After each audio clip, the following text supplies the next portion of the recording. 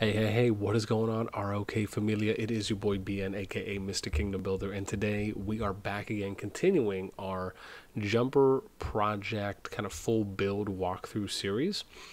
And now, the first episode, we started off talking about the importance, right, of doing a Jumper project. Why would you do one? What, you know, some talking about a little bit of what goes into it on a uh, overview level. And today we're going to be really be expanding on that, right? We're really going to talk about what are things that you absolutely need to have set in stone before you actually one kind of start putting your discord together you start before you even start recruiting and really go over what i feel are the most important things that are going to reduce the most amount of challenges hurdles it's going to lower your margin of error when you're looking to try and increase your odds and chances of having a successful jump project before we get started, as always, make sure you guys sub, like, ring that notification bell. And of course, if you want to join and be a part of our Discord, you can find a link to that in the pinned comment slash description down below. All right. So, what are the most important things that you as a player need to know before you decide if you are someone who wants to start a jump project? First and foremost, and I cannot stress this enough, I truly believe that you need to have a, a minimum level of knowledge and experience when it comes to playing in my opinion multiple kingdoms. And this can be done a few different ways right? I do think it's important to at least at minimum have a main kingdom that you've started playing in from day one and you've been there I would say at least through two to three KVKs, right, would be my bare minimum recommendation because you need you need a starting point, right? You need a baseline to build from. And then beyond that, what is really important for you to do is either make new accounts in other groups. Like a, a, good example would be either go and join another jump project, go through the process with them, and then play that account out for a little while just to see how a new kingdom develops. Also, so you can get some knowledge and experience on how another project has been operated, because that will allow for you to get another level of a baseline amount of knowledge and experience by being an active and participating member of an actual jump project if you've never done it before. Why? It doesn't matter if the project succeeds, if it fails, however you really want to label it. The important thing is that you are getting experience and you're gaining knowledge in what the process is and the journey and then how it has played out in addition to also getting double dipping on the experience of playing in a server from day one. It is going to allow for you to really figure out the most important things, which at least up until today, right, is sometimes hard to, to gauge, I would say, for the majority of the player base, which is that really looking at things like player trends, right? Uh, player psychology.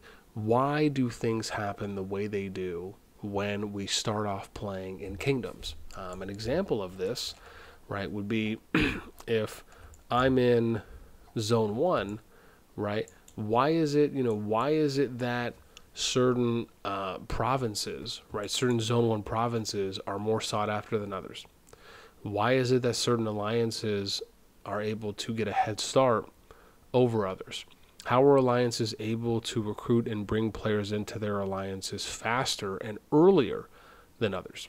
What are the benefits that we see from alliances that are able to start the moment that the server opens compared to maybe alliances that start five to six, eight or nine, ten hours after a server opens, right? Paying attention to these trends, right? Why do alliances build um, in certain ways, right? As far as why do they flag out um, in certain directions, right? Why would they start building their um, center fortress, right, in a specific area that is going to give them an optimal uh, positioning to then branch out, right? Why do they pick certain areas, um, right? Wh- what do they prioritize on flagging first, right? Why do some players uh, possibly hop alliances, right, from one to another early on, right? Are they trying to climb the ladder, right? What are these types of trends that we're noticing? All of these things are very important to learn if you want to be someone who starts up a jump project. Because remember, if you start a jump project, you are essentially someone who is viewed and looked at right publicly from people that are joining. Because remember a project has to start somewhere. And usually it starts with one person and one idea right or a vision if you will that you have and then from that point that's when you start recruiting players you start you know trying to fill out leader positions officer positions. But usually the person who is starting it right or maybe it's one person maybe it's a group of people but the individual slash individuals individuals i feel like i said that the same time twice right those are either the individual or sorry either the one person or multiple people that are engaged in that foundation right? From building that project out doing the recruitment bringing people in filling out the needed and necessary positions that you need to fill. But these again the the individual or multiple people are viewed as right the leaders if you will right? Because like i said it has to start from somewhere and you have to bring people on initially and most of the time, you're probably going to have early roles in your server as well. So these are just going to be indicators. And it's important that you have a good baseline level of knowledge and experience so you can set those standards, you can set those precedents early. And so, beyond just playing your own main account, beyond playing in a jumper and getting that experience playing in an early in an early kingdom, having at least a few accounts that you play in different kingdoms. Even if you're just making the account to check in on a daily basis to see how things are progressing, right? Maybe you read up on world, maybe you read up on the world chat a little bit, where you'll go, or sorry, Kingdom Chat in this case, right? You'll, you'll read up on Kingdom Chat, just kind of see what people are posting. You know, what are they talking about? Um, you know, maybe you play there long enough so you can read King's mails, right? I think that's another very important thing that if you're able to play in servers for a while, you can actually read King's mails and kind of see what these servers are posting about. I think it's very important that players who are looking to make projects have multiple accounts in servers that they just check in on, you know, even if it's once a week, once every two weeks, because reading things like King's mails are very important if you want to get an idea on how you will manage your server in Kingdom, looking at some standards and expectations that are set from how other kingdoms are managing their players. How are they informing them? How are they educating? What are they doing? What are they not doing um, enough, or maybe or maybe areas of improvement that they can do? All of these things are very important. If you, as someone, want to start your own jump project, it is so much more than just getting a few friends together and saying, "Hey guys, let's start up a jump project." You you you have to keep in mind you are managing people, right? You are essentially a, a manager of humans, right? And you are really in charge of doing everything, right? When you start your project, you have to recruit, you have to set policies, you have to establish how you're going to manage events. I mean, these are all things that are very important, right? You have to let people know how are you going to govern? What is your hierarchy going to be? Right? Who's going to be at the top? How are you going to set that up? Who's you know what what's your line of communication? Who's in charge? Who's making decisions? Um, how how you know what are the standards you're setting for your officer team? What's the standards you're setting for your leaders right? How are you planning for them to interact? How are discussions things like feedback voting if you're doing that? How are all of these things happening? Um, right? Then you have to think about right managing events right? How are you going to manage things like your MGEs um, how are you going to manage any of your other server wide events, such as like general kill events, right? Or even if it's just your MGs in general, right? Outside of any other events, how are you managing server wide events, right? And and then one, how are you going to make sure that you're communicating all of that? Who's going to write the mails up, right? These are other things you have to consider, right? Is who's going to be in charge of writing your mails, writing templates, uh, distributing that information, right? Are you going to have multiple people on your mail team? Trust me when I say informing and educating your player base is going to be the most challenging part of you starting a project up. It doesn't matter if you're just doing it for one alliance, two alliances, or upwards of six to 12 alliances, right? Myself, right? I've had 12 to 15 alliances starting out in certain in kingdoms before for um, two of the biggest projects that I ran, where we had about 450 players that converted with us to Final Kingdom, it is literally almost like another full time job, right? And it takes a lot of work, it takes a lot of passion, it takes a lot of effort, um, and it takes a lot of just diligence to make sure you're staying on top of it. Um, and so these are important things, right? In addition to how many alliances do you want to have, right? How many players per alliance do you want to have, um, right? Are you looking to be the strongest alliance or the strongest group? Uh, are you looking just to be a contributor, right? Um, or do you want to be a coordinator, right? Meaning that are you okay going in with one alliance or multiple alliances and you just want to contribute to whoever the kind of leading regime is going to be when you go into a kingdom? Or do you actually want to be the coordinator, right? Do you want to be that kind of leading regime that is going to kind of set what those standards are going to be, what those policies are going to be, how you're going to manage events, and etc.